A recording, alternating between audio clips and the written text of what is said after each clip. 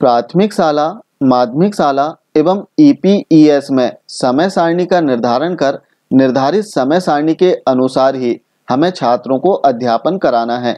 इस संबंध में राज्य शिक्षा केंद्र मध्य प्रदेश भोपाल के द्वारा एक शेड्यूल जारी किया गया था, जिसमें बताया गया था कि किस समय अवधि में छात्रों को कौन कौन से कंटेंट पर अध्यापन कार्य कराना है। जैसे राज्य शिक्षा केंद्र का शेड्यूल हम देखें तो इसमें प्राथमिक और माध्यमिक दोनों स्तर के लिए जो शेड्यूल है वो दिया गया था। जिसमें कक्षा एक व दो की बात करें तो कक्षा एक व दो में पूरे सत्र कक्षा एक की ही पुस्तकों से अध्यापन कार्य किया जाएगा। इसमें स्पष्ट रूप से बताया गया।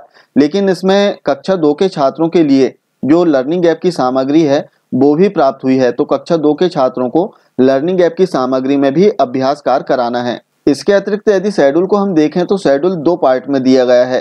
पहले पार्ट में प्रातः दस बजकर तीस मिनट से दोपहर दो बजकर तीस मिनट तक इसमें दक्षता उन्नयन और बर्थ पर कार्य करना है और जो इसका सेकंड पार्ट है, दो बजकर तीस मिनट से शाम चार बजकर तीस मिनट तक, इसमें ब्रिज कोर्स पर कार्य करना है। और इसकी जो समय अवधि दी गई है प्राथमिक शाला के लिए 13 नवंबर 2021 से 15 जनवरी 2022 तक, लेकिन इसके पश्चात 16 जनवरी 2022 से इसमें आपको दक्षता उन्नयन या फिर ब्रिज कोर्स पर पहले पार्ट में अभ्यास कराना है और दूसरा जो पार्ट है इसका इस पार्ट में दोपहर दो बजकर तीस मिनट से शाम चार बजे तक इसमें कक्षा स्तर की जो पाठ्य पुस्तक है, इसका अध्यापन कार्य कराना है।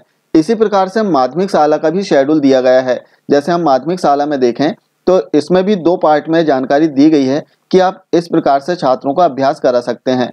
दोनों ही शेड्यूल में बताया गया है कि जो पाठ्य पुस्तक का अध्यापन है, वो जनवरी माह से होगा। प्राथमिक शाला में 16 जनवरी 2022 से और माध्यमिक शाला में 1 जनवरी 2022 से पाठ्य पुस्तकों का अध्यापन कार्य कराया जाएगा। इसके पूर्व दक्षता उन्नयन और ब्रिज कोर्स केवल दो ही कार्य करना है और इन दोनों का ही शेड्यूल हमें टाइम टेबल पर बनाना है। अब राज्य शिक्षा केंद्र का जो शेड्यूल है, इसमें हम देखेंगे कि केवल कंटेंट दिए गए हैं कि आपको किस समय में कौन से कंटेंट पर अध्यापन कराना है। अब जैसे दक्षता उन्नयन की बात करें तो दक्षता उन्नयन तीन विषयों का है। वहीं ब्रिज कोर्स की बात करें तो माध्यमिक शाला में सभी विषयों का ब्रिज कोर्स, जो लर्निंग ऐप की सामग्री है, वो हमें प्राप्त हुई है। तो किस कालखंड में हमें कौन सा विषय लर्निंग ऐप के लिए पढ़ाना है या फिर दक्षता उन्नयन के लिए पढ़ाना है तो इसे हमें डिफाइन करना होगा। तो आप स्क्रीन पर देख सकते हैं कि एक समय सारणी है जो हमारे द्वारा बनाई गई है और जो समय सारणी है केवल सुझावात्मक है। आप अपनी शाला की शिक्षक संख्या और परिस्थिति के आधार पर समय सारणी तैयार कर सकते हैं। इसमें आप देखेंगे कि हमने विषयवार अलग अलग इसमें डिफाइन किया है कि किस कालखंड में कौन से विषय का अध्यापन कार्य करें, चाहे दक्षता उन्नयन वर्क बुक की बात करें, या फिर लर्निंग ऐप सामग्री की। इसमें विषयवार कालखंड के आधार पर हमने टाइम टेबल का एक निर्धारण किया है। आप चाहें तो इस आधार पर भी अपनी शाला का टाइम टेबल बना सकते हैं। टाइम टेबल केवल सुझावात्मक है, आप इसमें परिवर्तन भी कर सकते हैं। और उक्त तो जो टाइम टेबल आप देख रहे हैं, वो वीडियो के डिस्क्रिप्शन बॉक्स से भी आप डाउनलोड कर सकते हैं। ही समय सारणी के निर्धारण के संबंध में एक बहुत ही महत्वपूर्ण जानकारी।